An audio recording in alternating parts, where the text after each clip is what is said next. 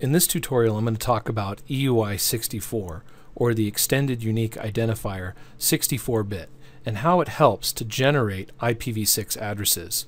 So I have Packet Tracer 6.0.1 open and I've dragged out a router. I've got a 1941 router, a 2960 switch, and I've got a PC here. Let's click on the PC and what I'll do is I'll click on IP configuration and you can see here that the PC has already auto-configured a link local IPv6 address. And EUI64 has been used to help generate this unique link local address which identifies this particular PC on the network. Now, what did EUI64 do? EUI64 helped to generate the last 64 bits of this IPv6 address.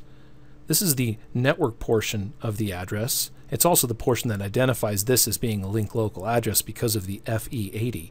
And then the last 64 bits is unique and it identifies this particular PC. And in this case, EUI64 was involved to help generate this portion of the address. How was it involved? Essentially, EUI64 takes the 48-bit MAC address associated with the PC's NIC and then turns it into a 64-bit unique identifier to identify the host. So essentially, with this link local address, the second half of the address, or this portion, the 64-bit second half of the address, has been generated from the 48-bit MAC address, and we'll be able to see this. Let's close this window and open up the command prompt. And you can see that I've already put in an ipconfig all command and you can see there's our physical address. So this is the MAC address of the PC. And then right below it, you can see the link local IPv6 address. And notice the similarities. Notice how the link local address ends with 35 AD and the MAC address ends with 35 AD. Notice the A2 35 AD, A2 35 AD. Now the rest of it gets a little bit confusing. You can see that there's a um, let's see here, CFA2. Well, we can see a CF right here. So there's a CF, but or a CCF. And then you can see here a CCF, but it seems to be a little bit different on this half of the MAC address, and I'll show you how that works. If we open up Notepad, we can show how the 64-bit unique identifier was generated from the 48-bit MAC address. So that's what I've done here. I've pasted in the MAC address up here and the link local address right here.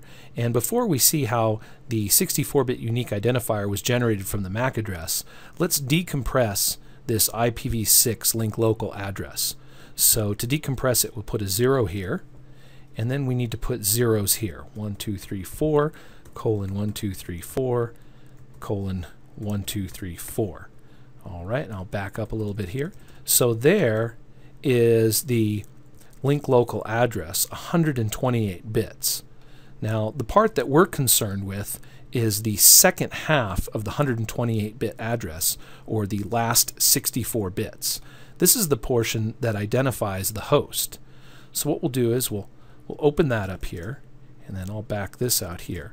So this is the part that we're concerned with. How did the 48-bit MAC address turn into the 64-bit unique identifier in the IPv6 link local address? Well, it's pretty easy. What happens is the MAC address is split down the middle. So we take this MAC address and we split it down the middle, and right in the middle is put FFFE. So FFFE is placed into the middle of the address. So we'll do that now, and we'll put a colon here. And so you can see already that this half of, or this portion of the MAC address now looks exactly like the this portion of the link local address. So FFFE is inserted in the middle. And then over here, you can see that we still have some work to do. 000C has been changed to 020C. So what also needs to happen in the conversion of the MAC address to a 64-bit unique identifier is the seventh bit from the left is flipped. So let's see here, I'll just write that down. The seventh bit from the left is flipped. All right, so to do that, what we'll need to do is we'll need to take these two hex characters and turn them into binary so that we can flip the seventh bit.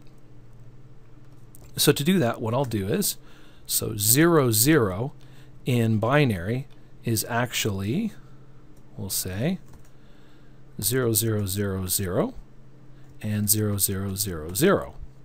So that is these two hex characters in binary. Each hex character is four bits in binary. So these four bits equals this one character, and these four bits equals this character. All right, so if we count the seventh bit, we'll go one, two, three, four, five, six, seven. Then this bit will get flipped from a 0 to a 1. And so now it's pretty easy. All we have to do is convert the binary back to hex, and we'll have our address. So if you convert 000 back to hex, you get 0 right here. I'll just place it right here.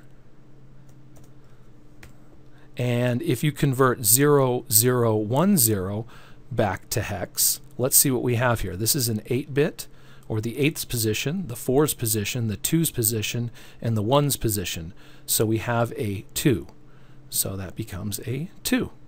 So that's how 000C turns into 020C, is the 7th bit counted from the left is converted or flipped. And you can see it's flipped to a 1, which then turn this into a 2.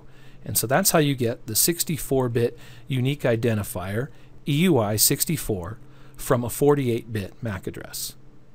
Now, if you try to look at this on your PC, you're probably not going to see it because on a Windows machine, your link local address isn't generated from your MAC address using EUI64. Your link local address on your Windows machine has been randomly generated. The numbers have been randomly generated, so the MAC address is not involved and EUI64 is not used.